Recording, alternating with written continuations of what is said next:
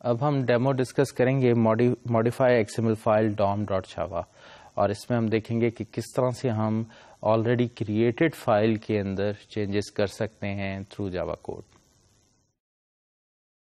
اب ہم ڈسکس کریں گے سب سے پہلے staff dot XML staff dot XML میں آپ دیکھ سکتے ہیں کہ ہماری ایک روٹ ایلیمنٹ ہے کمپنی اور اس میں ایک چائلڈ ایلیمنٹ ہے اسٹاف جس کا آئی ڈی ہے ون اسٹاف میں ایک امپلائی کی انفارمیشن پڑی ہوئی ہے۔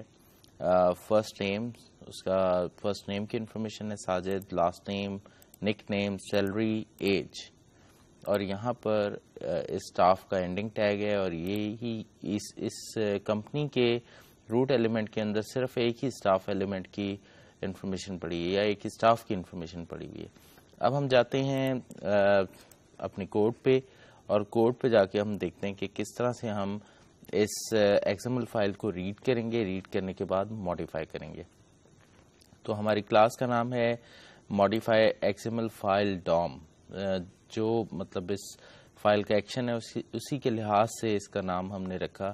آپ دیکھ سکتے ہیں یہ کچھ امپورٹس ہیں جن کو ہم نے اس کورس سے پہلے کیا. تو uh, ایکچولی یہ تمام لائبریریز کا استعمال اس uh, فائل میں ہو رہا ہے، اس لیے ہمیں امپورٹ کرنا ضروری تھا انہیں. اور اس کے بعد ہم نے پبلک سیٹک وائڈ مین مین لکھا۔ مین میں ہم نے ٹرائی بلاک لگایا۔ ٹرائی بلاک تب لگاتے ہیں جب ہم کوئی ایکسیپشن یعنی ہمارے کوڈ میں پاسبل ایکسیپشنز آ سکتی ہیں اور ان ایکسیپشنز کو ہینڈل کرنے کے لیے ہم نے ریلیونٹ کیچ بلاک بھی لگائے ہیں۔ آپ دیکھ سکتے ہیں اینڈ میں اس مین کے۔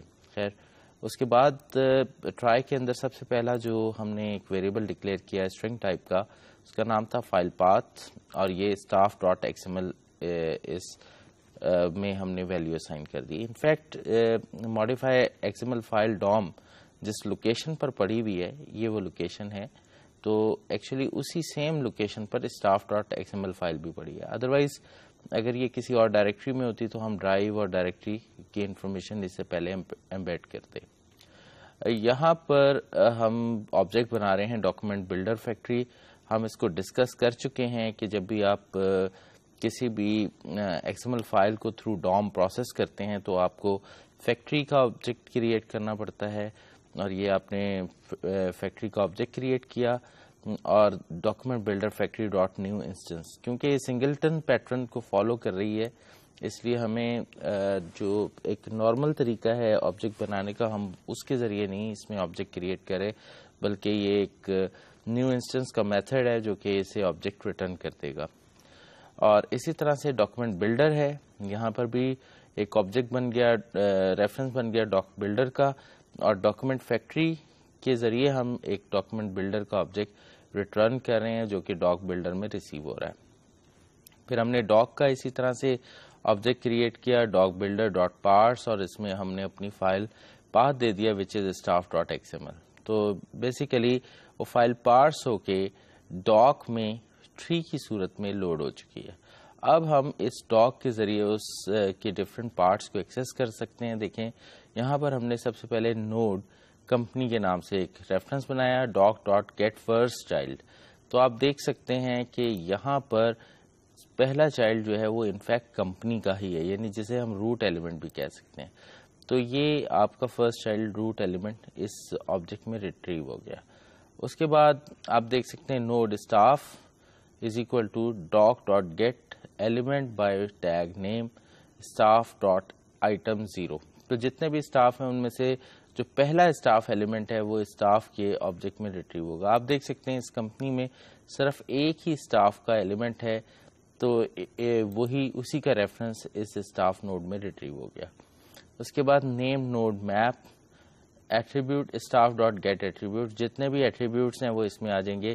آپ دیکھ سکتے ہیں کہ اس اسٹاف میں صرف ایک ہی ایٹریبیوٹ ہے آئی ڈی کا۔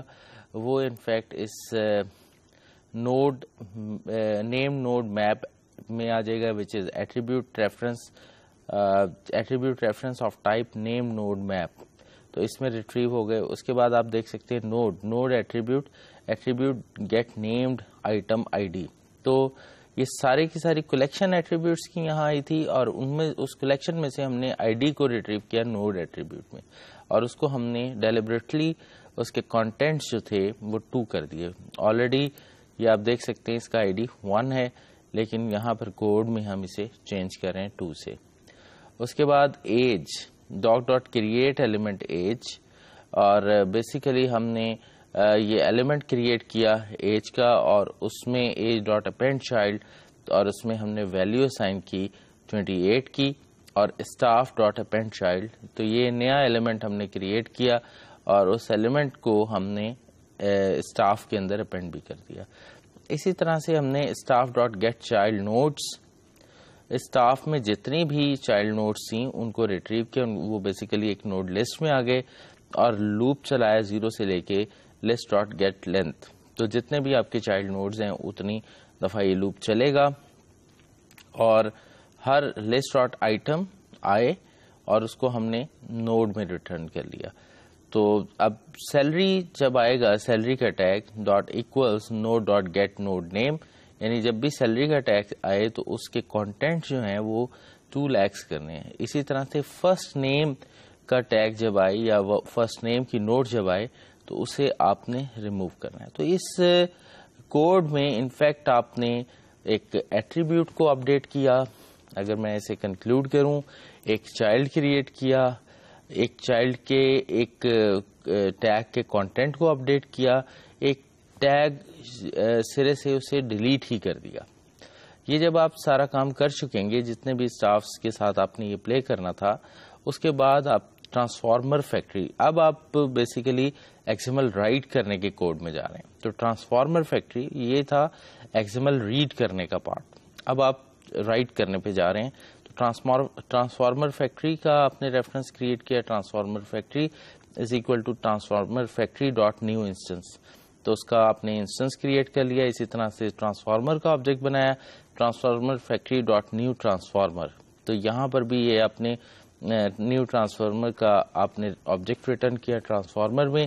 ڈوم سورس کا آپ نے ریفرنس بنایا، نیو ڈوم سورس، اور اس میں آپ نے ڈاک پاس کر دیا جو آپ آلریڈی یہاں بنا چکے تھے پورے ایگزامپل سے۔ Stream result result is equal to new stream result new file path تو یہ اسٹاف ڈاٹ ایکسمل کو اپڈیٹ کر دیا اس نے اور transformer dot transform source and result تو یہ ریزلٹ جو ہے، یہ اپڈیٹڈ فائل ہے سورس جو تھا پریویس تو پریویس کو آپ نے اپڈیٹ کر دیا ہے نئی فائل سے. اور یہاں پر آپ نے آؤٹ پٹ میسج دیا ڈن اور یہ کیچ ایکسپشن ہیں. پارس کنفیگریشن ایکسپشن آ سکتی ہے ٹرانسفارم ایکسپشن آ سکتی ہے آئیو ایکسپشن آ سکتی ہے، اور سیکس ایکسپشن آ سکتی ہے. اس کوڈ میں جتنی پاسبلٹیز تھیں، ان کو ہم نے یہاں پر کیچ کے ذریعے ہینڈل کیا. اب آپ دیکھ سکتے ہیں اس فائل کو میں کمپائل کر رہا ہوں، تو آپ دیکھیں یہاں پہ کمپائلیشن کمپلیٹڈ، کہ فائل کمپائلر نے چیک کر لی ہے، یہ ٹھیک لکھی ہوئی ہے۔ اب ہم اس فائل کو رن کر رہے ہیں۔ تو رن کرنے پہ اس نے دیکھیں رن ماڈیفائی ایگزامل ڈن اور اس فائل کو میں جو ہے، یہ ہم نے کھولی ہوئی تھی یہ فائل، اور یہ آپ دیکھیں کہ یہاں پر اس نے سٹاف اس کا آئی ڈی ون تھا ٹو کر دیا فرسٹ نیم کو سرے سے ڈیلیٹ کر دیا لاسٹ نیم خان رہ گیا نک نیم ساجد سیلری اپڈیٹ ہو گئی ایج جو تھی یہ 28 ایڈ ہو گئی ہم نے پریویسلی ایج 32 بھی ڈالی ہوئی تھی یہ کیونکہ اپینڈ کی ہے تو اس نے اسے ڈیلیٹ نہیں کیا پریویس کانٹینٹ کو تو یہ ہم دیکھ سکتے ہیں کہ نئی نئے کانٹینٹ یہاں ایڈٹ ہوئے اور اس کے لحاظ سے میں صرف اسے انڈینٹ کر کے دکھا رہا ہوں آپ کو تاکہ آپ کی ایگزامل فائل جو ہے وہ آپ کو کلیئرلی ریڈیبل نظر آئے۔ اور یہ اس کا روٹ ایلیمنٹ ہے۔ تو یہ ایگزامل فائل جنریٹ ہوئی ہے آپ کے اس کوڈ کے ذریعے۔ ابھی ہم نے دیکھا ماڈیفائی ایکزمل ڈام ڈاٹ چھاوا اور اس ہم نے ڈیمو کے اندر یہ دیکھا کہ کس طرح سے آپ ایکزمل فائل کو لوڈ کرتے ہیں، ریڈ کرتے ہیں، ریڈ کرنے کے بعد اس کے ڈفرینٹ کانٹینٹس کو اپڈیٹ کرتے ہیں۔ خواہ وہ کسی ایٹریبیوٹ کی ویلیو ہو کسی ٹیکسٹ نوڈ کے کانٹینٹس ہوں، کوئی نئی نوڈ ہو یا کوئی نیا ایلیمنٹ ہو، اور کسی ایلیمنٹ کو ڈیلیٹ کرنا ہو، یا اکثر فائل سے ختم کرنا ہو۔